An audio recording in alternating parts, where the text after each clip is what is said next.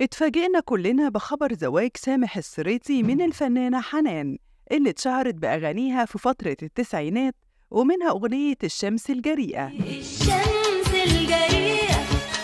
بس كان في تفاصيل كتيرة في قصة الجواز وعلاقتهم ببعض. النهاردة هنقول لكم سر العلاقة دي وليه ما أعلنوش خبر الجواز اللي تم من تسع شهور. خليكم معانا للنهاية. الفنان سامح السريتي ارتبط بعلاقة صداقة طويلة مع المطربة حنان اللي كانت واحدة من أهم المطربات. في فترة التسعينات وليها أغاني شهيرة جدا زي أغنية الشمس الجريئة وكان بينهم إعجاب متبادل بس طبعا هي اتجوزت بدري وهاجرت بره مصر بس فضلوا أصدقاء وعرض عليها الزواج قبل شهر رمضان 2023 وهي وافقت على الزواج منه بسبب صداقتهم الطويلة. واحتفل سامح وحنان بزواجهم في حضور الأهل والأصدقاء المقربين بس ورفض يعلن في الصحافة أو الإعلام علشان يبعد عن كلام السوشيال ميديا اللي هاجموه من كام سنة. بسبب زوجته الأولى الفنانة نادية فهمي وحصل اللي كان خايف منه سامح الصريطي. لما شافهم أحد الصحفيين وصورهم سوا وأعلن خبر زواجهم ولما اتسأل ما أنكرش وقال اتجوزت أنا وحنان من قبل رمضان اللي فات.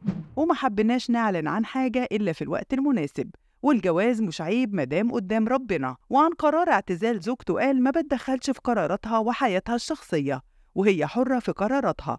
أنا اتجوزتها على موقفها. وكتير من المتابعين ما يعرفوش إن فرق السن بين حنان وسامح السريتي هو 13 سنة بس. اسمه محمد سامح محمد السريتي واتولد في 19 مارس 1951 حصل على بكالوريوس تجارة وانضم في بداية حياته لفرقة أنغام الشباب في المسرح الغنائي وكان مطرب الفرقة الأول. بعدها اشتغل في المسرح وعمل مسرحيات الحب بعد المداولة وعطشان يا صبايا. وانضم بعدها للشغل في الدراما وعمل مسلسلات للتلفزيون المصري.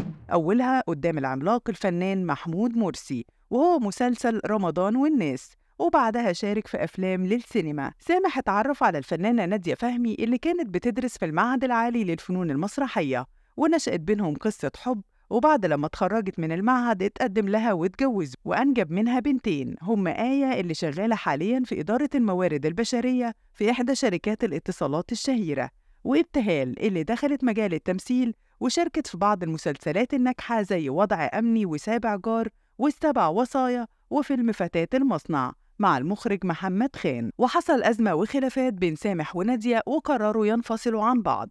بس استمرت علاقتهم ببعض بسبب الزمالة والأبناء اللي بينهم وساب لها بيتها تعيش فيه مع بناتها وهو قرر يعيش لوحده. وكملت نادية فهمي مشوارها الفني وابتعدت فترة عن التمثيل علشان ترعى بناتها. وبعدها بدأت عليها أعراض النسيان وما بقتش بتركز في أي حاجة. وعشان كده قررت تكشف وتشوف إيه سبب الأعراض دي. وبعد إجراء الفحوص والتحاليل اكتشفت إنها أصيبت بالزهايمر.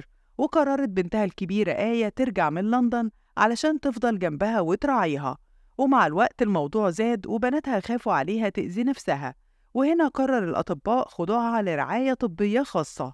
وجابوا ممرضات لرعايتها في البيت واكتشفوا بعدها سرقتهم لمحتويات البيت. وكان لازم ياخدوا القرار الصعب وهو إيداعها قسم رعاية الزهايمر في إحدى المصحات المختصة. وبالصدفة شافها أحد الصحفيين وكتب موضوع عنها واتقلبت السوشيال ميديا بمجرد نزول الصورة وتهاجم سامح الصريطي اللي ما كانش أعلن انفصاله عنها من سنين طويلة. وخرج ودافع عن نفسه وقال إنها مش في دار مسنين وإنه انفصل عنها من 25 سنة وإن هو وبناتها ما رموهاش زي ما بيتقال بس هي محتاجة لرعاية خاصة. ورحلت عن دنيتنا الفنانة نادية فهمي يوم 14 فبراير سنة 2019 عن عمر ناهز 69 سنة. اكتبوا لنا في التعليقات رأيكم إيه في قرار زواج سامح السريتي من المطربة حنان. وهل هو أخطأ في إخفاء الخبر؟